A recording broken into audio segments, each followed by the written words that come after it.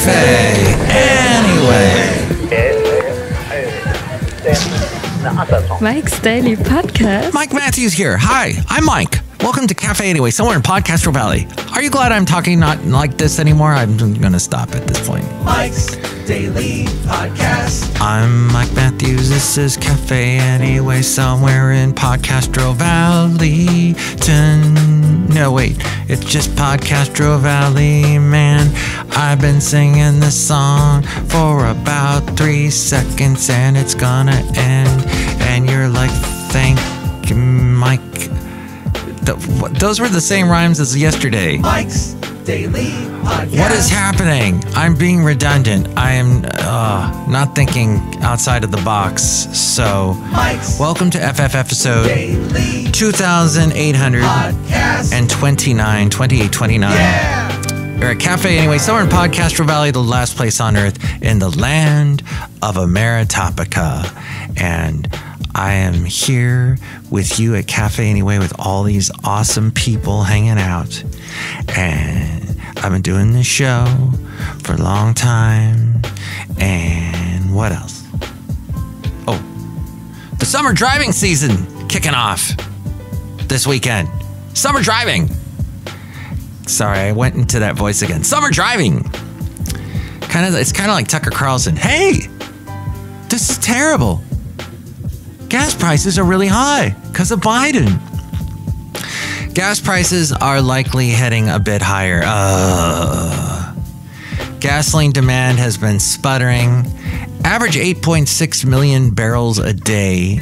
And so, see, that's down, not a bunch, but about one a little over 1% from a year ago. A gallon averages $3.60 nationally. Here in California, it is $5.24 average. 524. I've been seeing it under 5 in places I don't want to say, but let's just say Union City and Castro Valley, possibly. And here's today's podcast picture. It is up slightly from a year ago. But remember, gas prices have been up, up, up like crazy since, well, since 2022. The podcast picture is not of gas prices, but of a beautiful pelican that flew overhead when I was in Marina del Rey in Los Angeles uh, recently. And oh, pelicans are amazing. My mom used to say they look so prehistoric. So it made her feel like a cave woman, like like uh, Raquel Welch, and just going, "Wow, look at that." So that picture is at mikesdailypodcast.com. Check it out.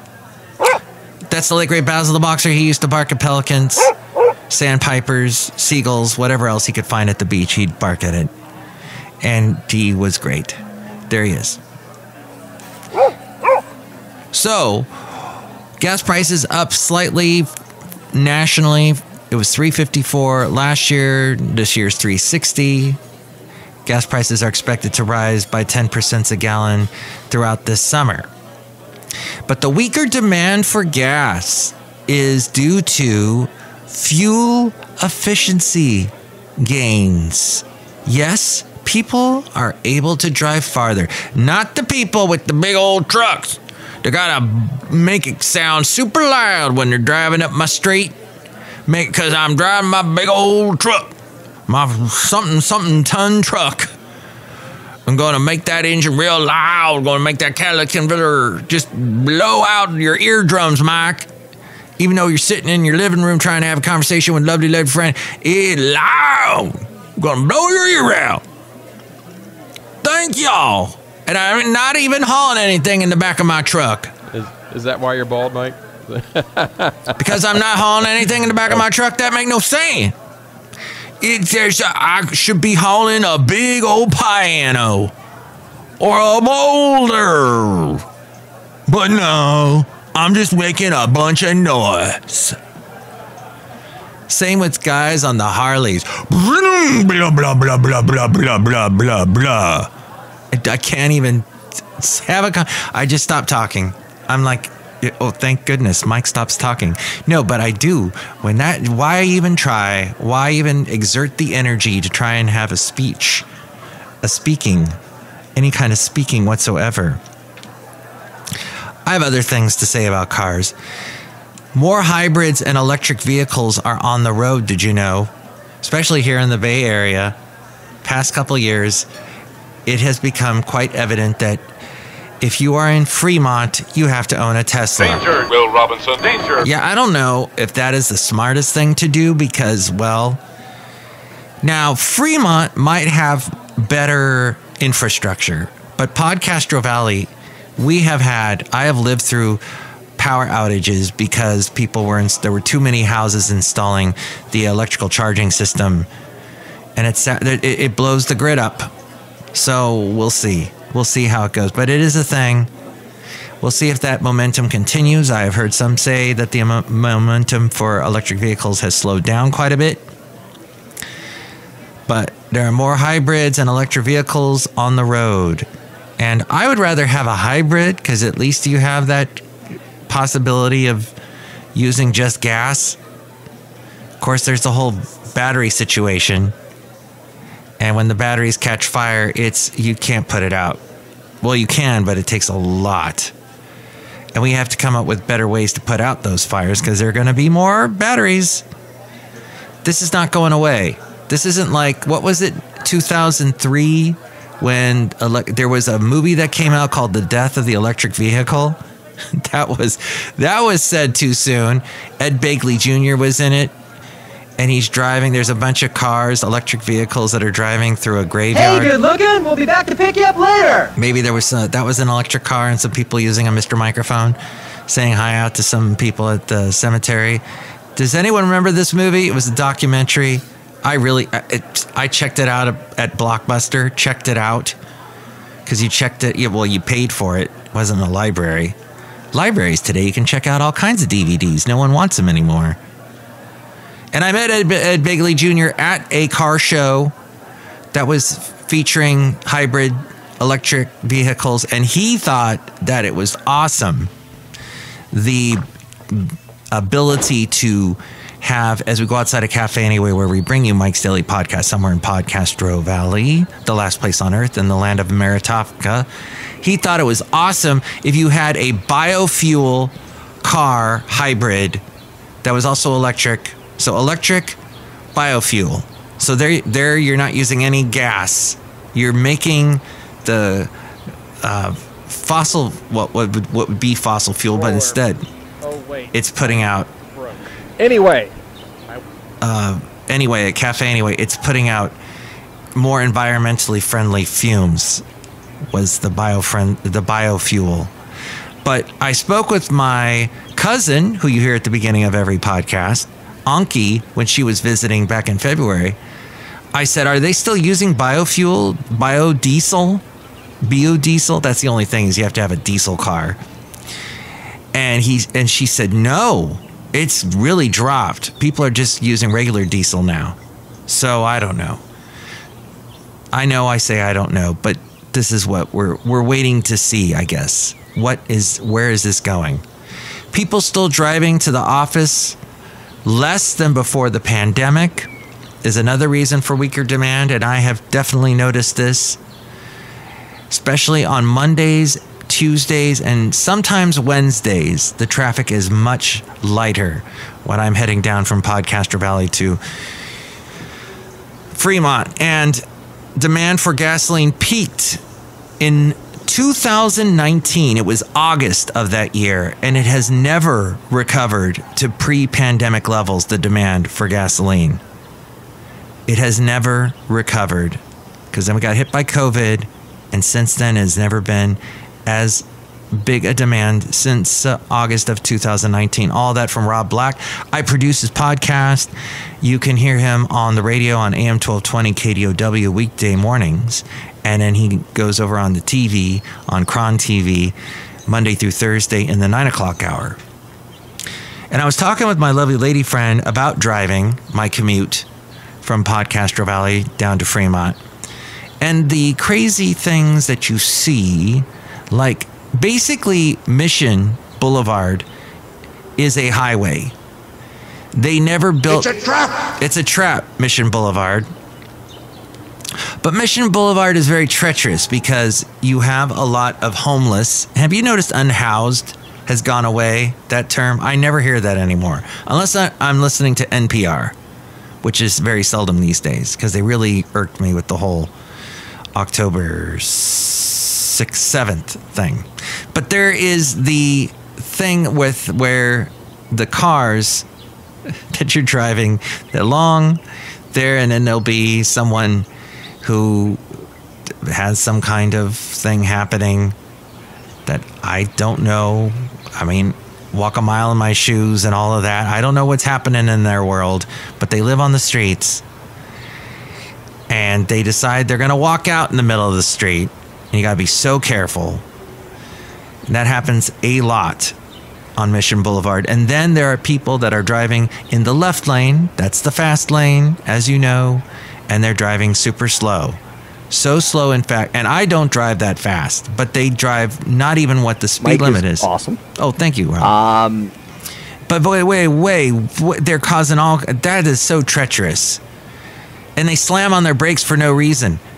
Now I know that's just a thing to say, but literally you're you're driving behind them and they slam on the brakes. And you have to be really paying attention and you know there are so many distractions these days.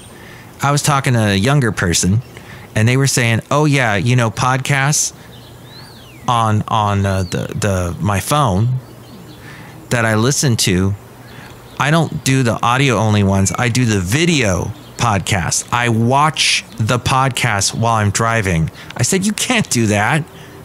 This is what they do.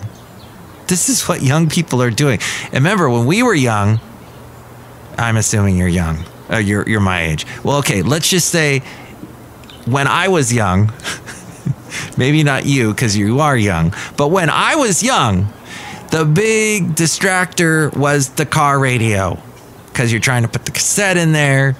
A little bit later on, it was the CD.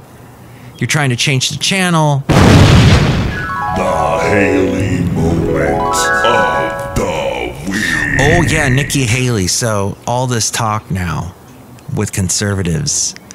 Is she going to endorse Trump now? It's time for her to endorse Trump. When is she going to endorse Trump? It's- come on. What, what, what does that matter? She was a possible alternative to Trump.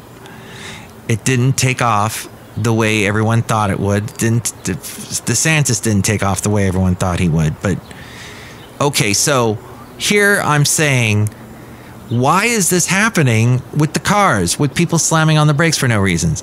Or, or maybe you're heading to a stop sign and everyone's slowing down except for the guy right next to you who goes flying past you and cuts in front of you and then slams on their brakes. So basically, they accelerated just to slam on their brakes. They wasted gas just to wear down their brake pads. Their brake pads are like that much thinner now because they slammed on them. Because there's a lot of force going into the car when you're pushing it down the pedal. Their right foot must be just have a mind of its own. This is crazy. Why is it? I'm just upset, as you can tell. This is also happening on the freeways. There are people that put their hazards on and think they can do anything on the planet. They can stop in the middle of the road, in the middle of the freeway, because they got their hazards on. Oh, we can see you. You have a force field around you. Nothing's going to happen to you. This is what happened when there was somebody on the Bay Bridge recently decided to just stop in the middle of the freeway and get out of the car. Killed. But where's the common sense? Don't you think that everyone has common sense? Nope. You see it when you drive down Mission Boulevard. So, am I driving too slow? I don't think so. Am I keeping an eye on the road? Oh, I am, because there's all of that that I just mentioned happening constantly. And if you want to make the most of that gas that's over five bucks, why are you accelerating and burning it all and then slamming on your brakes? It's, it defeats the purpose.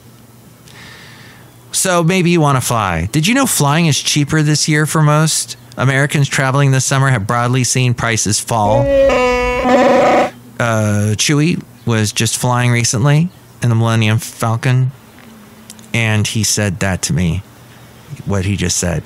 So prices are falling for airline fares. Last year there was sticker shock. Did I fly last year? No, I did fly. I didn't fly last year. Just this year. That's where the podcast picture came from, from that trip down to Marina Del Rey. Uh, average airline fares for flights in the U.S. fell by almost 6% since last year. Not much, but it's something. The average fares to Europe, the most popular trip abroad, are down 8%. Not a lot, but it's something. Versus a year ago. They were at record highs a year ago.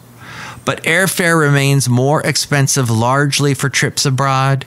If you want to go to Tokyo, if you that is one of the top spots for American tourists heading over there to Japan, it costs $1,372, up 2% from a year ago. Then there's flights to Canada, South America, Middle East, and Africa. That is up 2% to 6%. It's not a lot, but it's something. Don't forget, we have also seen airlines charge higher fees for checked bags. checked bags. Is it funny the way I said that? Booking a flight at least one to three months before a domestic trip will save you money. And three to four months ahead, if you book it, you'll save money for your international traveling. Back to electric cars. Tesla made its 3 millionth car in California. They produced its 2 millionth car in the town where I see a lot of Teslas and where I drive to every day in Fremont in December of 2023. So, December 2023, they made their 2 millionth and then they just recently made their 3 millionth. That's about a million cars in 17 months or roughly 59,000 cars a month. Remember, Elon Musk bought Tesla. He did not create Tesla. What was that all about? I know people don't remember. Target is lowering their prices on 5,000 frequently bought items, food items. They're lowering the prices on milk, meat, bread, fruit, and vegetables. Yet, another reason why you should not eat out when your grocery items are dropping in price. People, the, the big stores want you to get in, want you to come in and buy. They want you. They want you. The restaurants, they don't care. Ah, there's so many people eating out. We don't care. We'll just keep raising prices. We don't care. We'll never drop prices. Restaurants never drop prices. Red Lobster files. I, wait. Now I know there was a story I had said recently on a podcast. It was like some fast food people. I think it was McDonald's dropping a price on something, but you needed to use the app, and it was a bunch of hoops to jump through. I don't know if. Oh, speaking of restaurants, Red Lobster. Hi there, Mike. How are you? I'm excellent. Thank you, Red Lobster. That was a Red Lobster talking to me. They have filed for Chapter 11 bankruptcy protection. Yes, guess what put them over the edge? A disastrous, endless shrimp promotion helped drive the restaurant chain to a net loss last year. People love that shrimp. So nicely breaded, crunchy. Mm, mm, mm. I'm outside a cafe anyway, somewhere in Podcastro Valley. Look who's here. Hello, Mega Master. It's Madame Rootabega. I don't know what you just said. I, I said really quickly one of those things that I say all the time on the podcast. So I said it super fast, which is true of many people that have podcasts or on the radio and they talk super fast or do their little videos on YouTube and they talk super fast. That's part of it. If you want to subscribe, uh, click like and subscribe and tell your friends about. They say it really fast because they know it's the same thing you've heard on a million other podcasts. So, do you like other podcasts? Yes. Do you like the YouTube videos? Yes. Do you like Casey Kasem? No. How terrible. That's don't speak ill of the dead.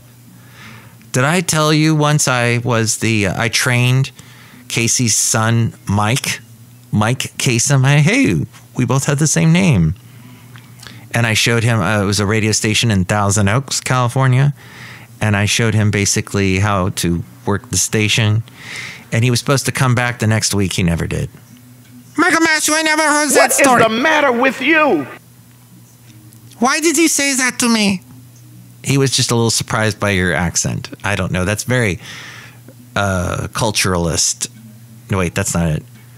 That's very. It's it's like um, kind of derogatory towards people with accents. I guess is what I'm pointing out. Look who else is here. Hello there, Mike. This is Valentino the Bear King and Teddy. And this is Bison Bentley.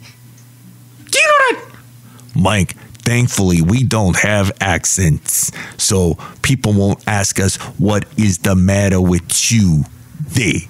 Yeah, nothing's the matter with it. Do you know that? That's excellent.